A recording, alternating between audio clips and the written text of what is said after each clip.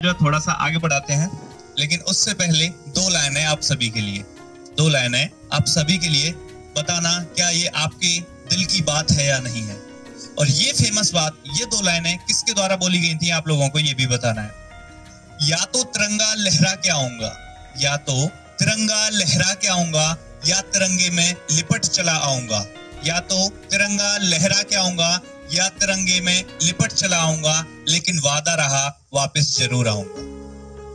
तो क्या ये दो लाइनें आपका दिल छू गई या नहीं छू गई? क्योंकि ये आर्मी, ये आपकी आर्म फोर्सेस नेवी हो चाहे वो एयरफोर्स आप आप सेनाओं में जा रहे हो, चाहे आप आर्मी में जाओ, चाहे एयरफोर्स में जाओ, चाहे आप नेवी में जाओ, वहाँ पर आप सिर्फ़ पैसा कमाने के लिए नहीं जा रहे हो। वहाँ पर आपको वहाँ जा रहे हो, इसके लिए आपका जुनून होना चाहिए, जज्बा होना चाहिए, और आपका पैशन होना चाहिए ये।